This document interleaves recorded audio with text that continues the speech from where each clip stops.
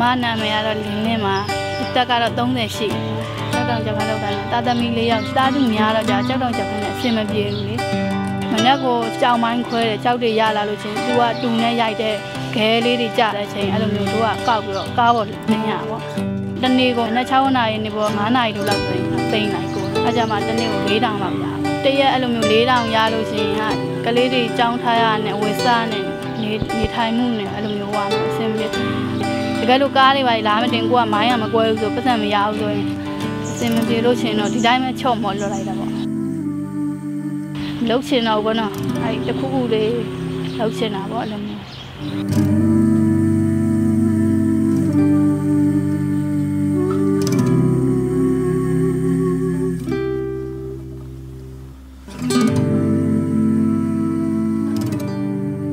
2012ခုနှစ်မှာ PEC မြန်မာနဲ့ Coca-Cola ကုမ္ပဏီတို့ပူးပေါင်းပြီးတော့စွမ်းရည်စီမံကိန်းကိုစတင်ခဲ့ပါတယ်။အမျိုးသမီးတွေကမြန်မာနိုင်ငံရဲ့ပြောင်းလဲမှုမှာအဓိကနေရာပါဝင်တယ်လို့ကျမတို့ယုံကြည်ပါတယ်။ဒီစွမ်းရည်စီမံကိန်းအဆိုရင်ရန်ကုန်နဲ့မန္တလေးမြို့မှာရှိတဲ့ရွာပေါင်းများစွာကအမျိုးသမီးပေါင်းမြောက်များစွာကို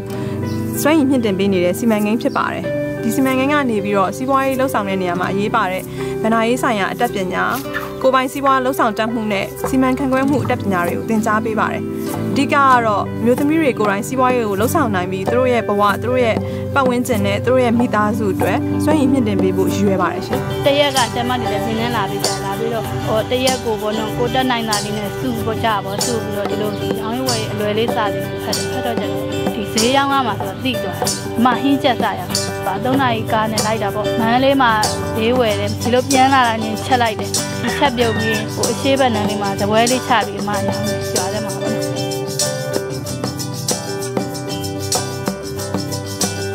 ။မြတ်တွက်လေးတွေအမစုစုတာခုဆိုရင်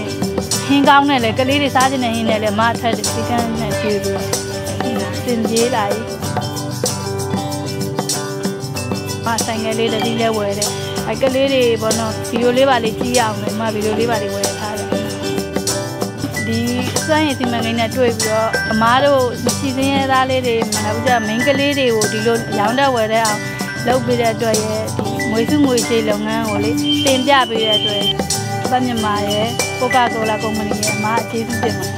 ။စားစဉ်မြေသက်တီအောင်မဒီဖွဲလေးတွေကိုဖွဲ့သွားပြီးထိတက်ကျဲပြအောင်လို့ပေါ့။အမတိုက်တွန်းသွားမယ်။ရှေ့ကနေလမ်းပြသွားမှာပေါ့